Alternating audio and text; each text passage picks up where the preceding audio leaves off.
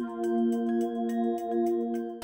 name is Chimamanda Adichie. I am a writer and I have just been here to very briefly address the bishops. So it was kind of um, my thoughts on um, a wide range of things and also my own personal story how I was raised Catholic and how for a while I stopped going to church because I, I had concerns and how slowly I'm coming back to the church.